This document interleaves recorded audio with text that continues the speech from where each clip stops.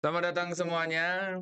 Kalian masuk sini pasti lagi cari updatean untuk Bahasa Indonesia FM 24. Gue juga tuh baru sadar kalau ini tuh baru jalan seminggu ya. Gue masih ngerevisi dan bersyukurnya tuh masih banyak banget orang-orang yang mau bantu. Wah jadi ngasih feedback, wah di Discord, di live, di, di DM TikTok tuh banyak banget yang ngasih ini Bang, ini ini ini ini ini. Nah, itu mempermudah gua banget untuk ngecekin satu-satunya karena nggak kayak di 2.0 yang gua bisa make refresh all karena ya kesalahannya lebih ke kayak AI-nya kemarin itu kan makanya akhirnya buru-buru 2.0 tuh karena subjeknya udah bisa dikelarin yang sebelumnya tuh nggak bisa.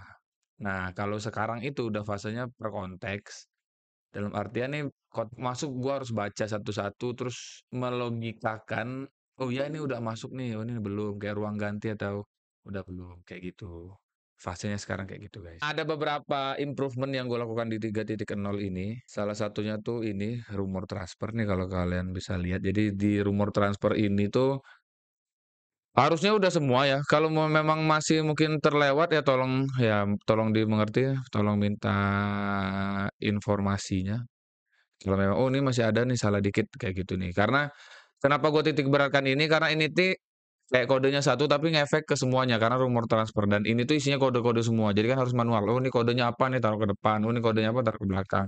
Ada yang nggak perlu ditambahin. Beda kayak yang sebelumnya kan lebih ke teksnya aja kan. Jadi kayak gua taruh ChatGPT, gua taruh Google Translate bisa nih. Kalau ini enggak, dia muncul karena kodenya kayak gitu. Chelsea kodenya apa kayak gitu-gitu. Nah, ini yang gua titik beratkan sama di ruang ganti dan wawancara.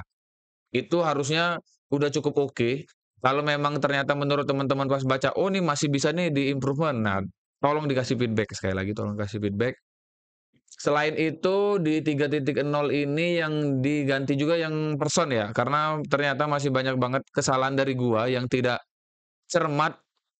Gua lupa pas replace all itu personnya gua masukin dalam katanya.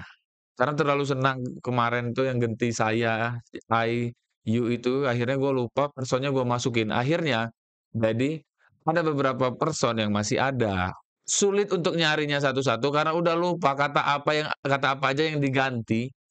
Jadi kalau teman-teman nemu tolong diinformasiin karena menurut gue sejauh ini harusnya udah hampir sepenuhnya tuh nggak ada lagi yang kata person ya. Kalaupun ada kelewat ya mungkin paling 1 sampai 2% aja kelewatnya. Selain itu di Inggris only ya. Yang Inggris only itu banyak banget yang Inggris only itu berita ya, headline berita. Ini banyak juga keluhan yang memang mengganggu mata bahkan karena panjang banget code-nya. Nah, ini emang murni kesalahan gue di awal-awal ke translate karena waktu itu gue bingung gimana caranya ngilangin yang ini nih, yang kayak negara sama Negara pemain sama ininya dia, sama bahasa yang dia kuasai, kayak gini kan, French.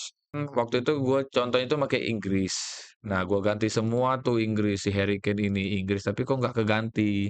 Nah, Inggris gitu, nggak keganti nih, masih Inggris semua tuh. Tapi semuanya udah jadi Inggris. Nah, jadinya lupa kalau itu tuh gue jadi Inggrisin. Nah, nah insya Allah harusnya udah gua udah English semua dan kalau udah English harusnya tuh udah nggak akan masuk lagi jadi code, udah jadi berita yang benar. Jadi silakan nikmati update-annya. Nah, gimana cara update-nya? Ini sekali lagi akan gua kasih tahu nih cara update-nya gimana.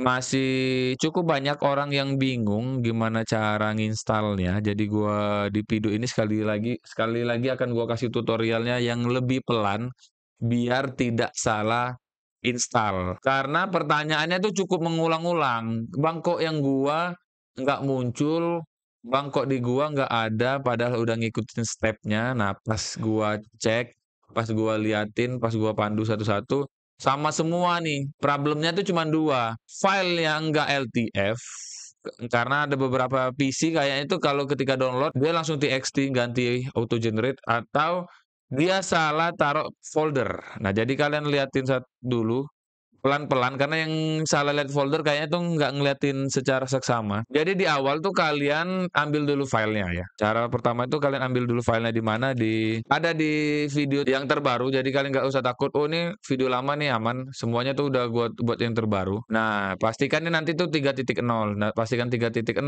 Setelah itu kalian download. Nah setelah di download filenya di mana pasti akan ke downloadan kalian kan. Nih LTF kedownload-an kalian. Nah, ada yang ada yang view-nya tuh nggak di-checklist. Jadi kayak gini namanya nih, nah. Nah, kalian pastiin nih kalau filenya tuh LTF. Jadi kalian klik view di Windows 10, Windows 11 sama aja. View, terus cari show, cari file name extension, terus kalian contreng. Nah, nanti akan ada tuh extension file nih gua gedein nih. Extension file LTF. Nah, pastikan nih LTF, .ltf, jangan .txt. Setelah itu gimana? Setelah itu masukin ke folder sport interaktifnya. Di mana? Di sini. Di dokumen, di dokumen ya, bukan di instalan. Masih banyak orang yang ngira tuh di, karena dia nginstal di D, dia buka D. Enggak, ini di C, di dokumen. Di dokumen, terus kalian buka sports interaktif, cari Football Manager 2024. Nah, ada juga yang di Mac. Di Mac ini tuh nggak ada sport interaktifnya. Jadi kalian search aja Football Manager, nanti akan ada dua folder yang muncul kalau di Mac. Pilih folder yang paling kiri. Ada du ada dua folder tuh kiri sama kanan. Pilih yang kiri. Nah terus sisanya sama. Kalian cari folder language. Kalau nggak ada folder language, buat sendiri kecil semua pakai S. Nah languages masuk.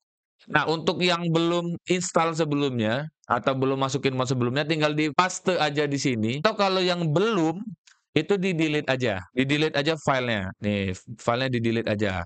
Nah, kalau nggak bisa di-delete LTC-nya, ini gue saranin LTC-nya di-delete aja karena ini auto generate dari LTF. Berarti itu kalian masih masuk ke gamenya. Jadi close aja game kalian dulu, biar file LTC-nya tuh bisa dihapus. Tuh bisa dihapus. Nah, pindahin file yang tadi, file yang baru kalian download, pindahin ke folder yang tadi. Udah kelar. Kalian tinggal restart gamenya. Atau kalau kalian nggak mau restart gamenya tuh bisa aja. Kalian buka preference, pilih bahasa lain selain bahasa yang pertama kalian buka game tadi, udah di changing skin harusnya tuh bahasanya akan muncul. Tuh, muncul kan. Ini untuk yang oh ini udah gue sama persis banget tapi nggak kebaca, coba kalian ganti dulu bahasanya ke bahasa lain. Nanti harusnya tuh muncul. Nah itu dia kira-kira updatean 3.0 ya. Semoga sesuai target di updatean keempat maksudnya keempat kali ya bukan 4.0 empat kali itu udah perfect. Semoga ya jadi gue bisa ngerjain yang lain. Jadi udah dulu gue mau media handling dulu karena gue udah jago sekarang media handling. Bye bye semuanya